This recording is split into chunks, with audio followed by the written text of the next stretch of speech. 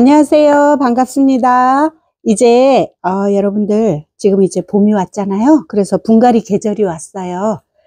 그래서 제가 요 며칠 계속 삽목을 하면서 조금 오래됐던 목질화됐던 제라늄들이 있어서 제가 이거를 좀 분갈이를 해서 여름을 좀 잘 날 수 있도록 어, 해보려고 흙하고 이렇게 폴라이트 우분 이렇게 훈탄 이렇게 해서 바이오차 이렇게 해가지고 준비를 했어요. 상토는 어, 여러분들은 뭐 흙 배합은 어떻게 해요 하는데 저는 흙 배합은 그냥 그때그때 제 맘대로 해요. 그런데 어떤 때는 상토를 일곱 개를 넣고 이렇게 훈탄 바이오차 뭐 이런 것들은 하나 우분도 하나 폴라이트는 크게 하나 이렇게 해서 섞을 때도 있고 또 아니면 그냥 뭐 대충 그냥 어, 상토를 여섯 개, 뭐 그 외에 나머지는 똑같이 이렇게 할 때도 있고 그래요. 근데 여기에서 주의할 점은 우분 있죠. 요거를 과하게만 넣어주지 않으면 이런 것들은 조금 조금씩 차이가 나도 아무런 상관이 없어요. 그런데 흙배합을 어렵게 생각하시고 어, 그렇게 하시는 분들이 있으신데 이렇게 하시면 좋아요. 그래서 미리 어, 상토 7개, 폴라이트, 우분, 훈탄 바이오차 이렇게 해갖고 준비를 해서 요거를 일단은 이렇게 골고루 이렇게 섞어 줄게요. 요거를 배합을 뭐 크게 어려운 것도 없어요. 그런데 이제 초보님들이, 초보자님들이 하시기가 조금 겁을 내시고 그건 어떻게 해야 되는 거예요 하고 걱정을 하시더라고요. 근데 이렇게 해가지고 골고루 잘 섞어 주시는 거예요. 어느 한쪽으로 치우치지 않게 이렇게 다 비벼 주셨죠? 그러면 제가 여기 보여드릴 게 이런 것들 있죠. 아이고 이렇게 보면 이런 것들이 많이 뿌리를 잘라내고 털어냈어요. 여기 보면 일단 이게 목질화가 돼 있어서 사실은 요거 밀필 들어준대요. 요거를 여기가 어, 꽃이 없으면 제가 다 잘라서 삽목을 했을 텐데 일단 밀필 들어줘 그래도 꽃이 폈으니까 또 좀 봐줘야 되잖아요. 똑 잘라버리면 얘한테 좀 미안해서 일단은 먼저 분갈이를 해주고 나서 나중에 여기를 삽목을 해주려고 해요. 분갈이 하고 나서 바로 또 삽목을 하잖아요. 그러면 밀필드 로즈가 아프다 그래요. 네, 식물도 사람하고 똑같이 너무 과하게 사랑을 주시거나 또 너무 과하게 막 싹둑싹둑 잘라내시고 이러면 몸살이, 몸살 앓는다고 하잖아요. 사람 몸살 앓는 것처럼 식물도 그렇거든요.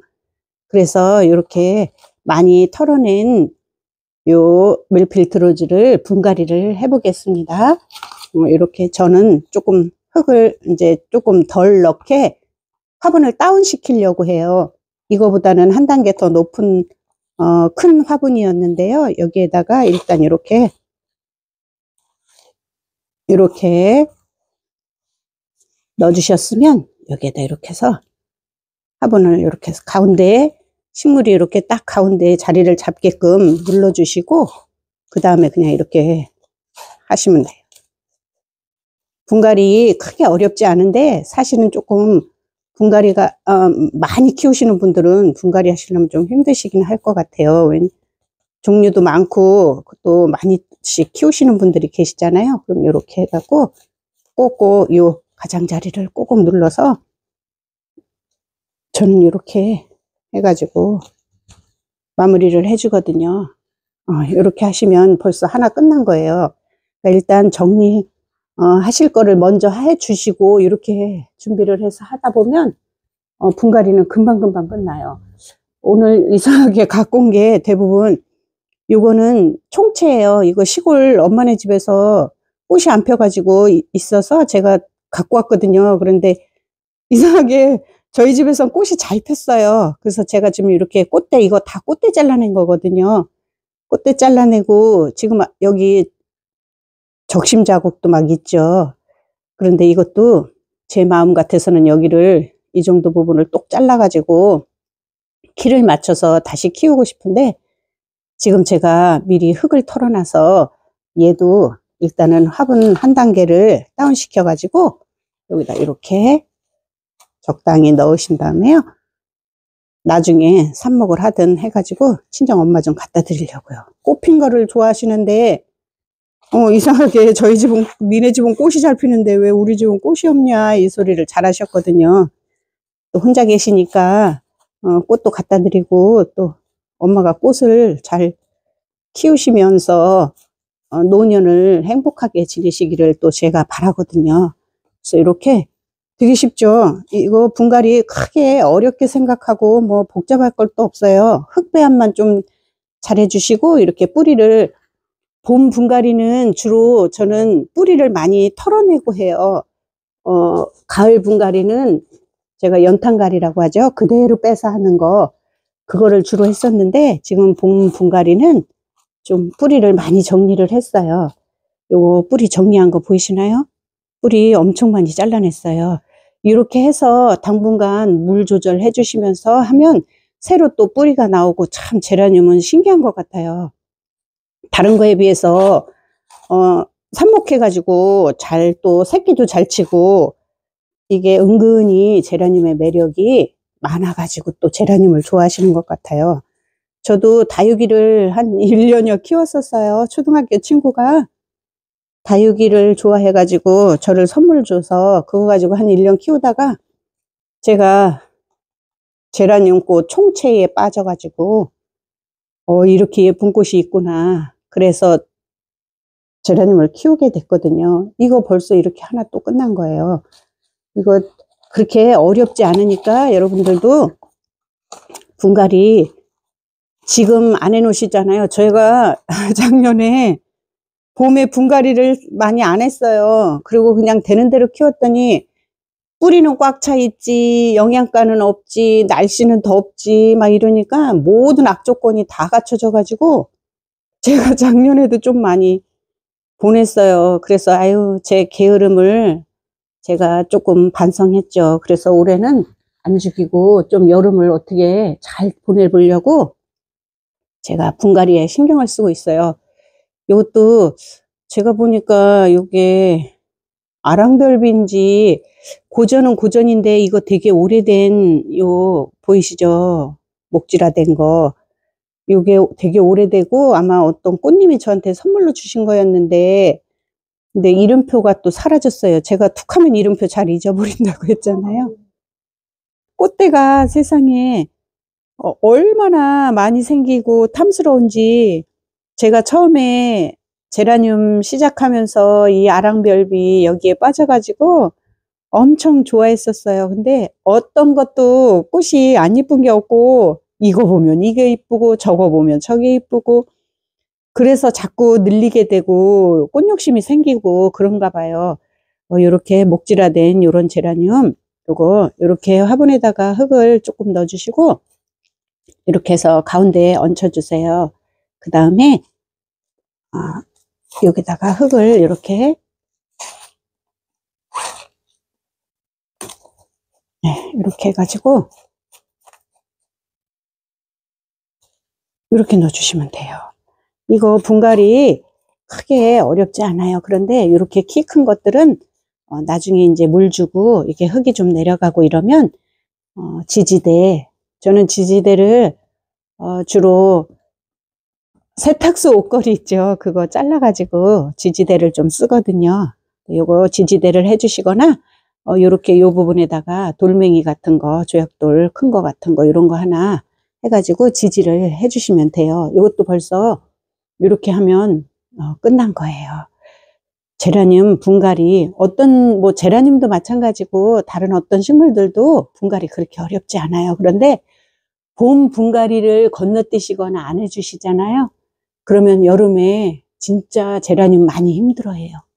제라늄한테 제일 힘든 계절 여름이잖아요. 그래서 봄에 분갈이를 신경 써서 해주셔야 되는 거예요.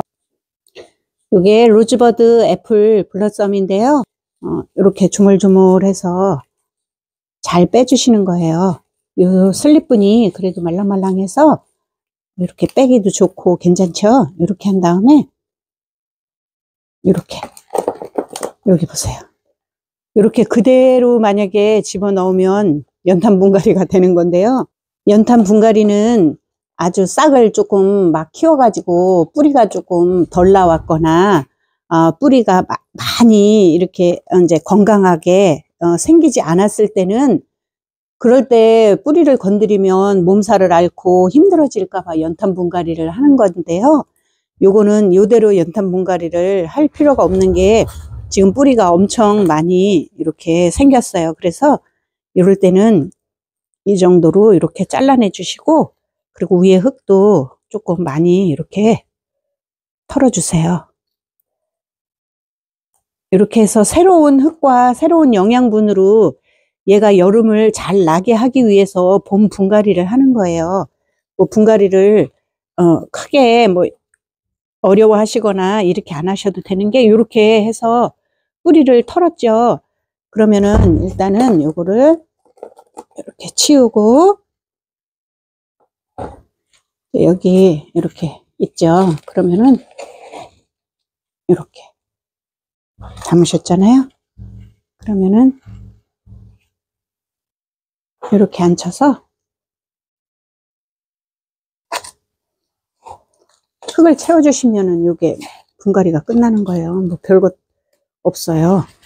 근데 분갈이를 어떻게 해요? 뭐 분갈이 잘못하면 죽일까봐 미리 막 걱정하셔가지고 분갈이를 막 어렵게 생각하시는데요. 분갈이를 진짜 어떻게 하시면은 그렇게 막 죽, 죽을까 이런 생각이 들 정도로 분갈이 쉬워요. 어, 자꾸 해보시면 또 더 쉽죠. 어, 근데 초보자님일 때는 아무래도 뭐든지 다 어렵기는 해요. 제가 말씀드렸죠? 저도 초보자일 때 완전히 남의 뒷다리 긁는 소리 엄청 했다고요. 이렇게 해서 Rosebud Apple Blossom인데요. 이렇게 꽃대가 두 개나 나오고 이래서 제가 삽목 안 한 거예요. 얘 꽃 피려고 이렇게 지가 살고 싶어서 댕강댕강 잘려나가기 싫어가지고 꽃대를 두 개나 물었나 봐요. 근데 요 꽃몽우리를 봐서는 꽃도 오종종 피기는 할 것 같은데 꽃 어느 정도 피고 이러면은 또 얘도 조금 새롭게 탄생을 시켜야 될 것 같아요. 이런 애들을 오랫동안 그냥 놔두고 키우면 여름에 힘들어지더라고요. 그래서 이렇게 해가지고 이게 분갈이 끝난 거예요. 그러고 나서 물을 흠뻑 주시고 물이 쭉 빠지면 그늘에다가 갖다 놓으셔가지고 요양을 시켜주시면 되는 거랍니다. 아시겠지요? 다음에 또 좋은 내용으로 만나 뵙겠습니다. 감사드립니다.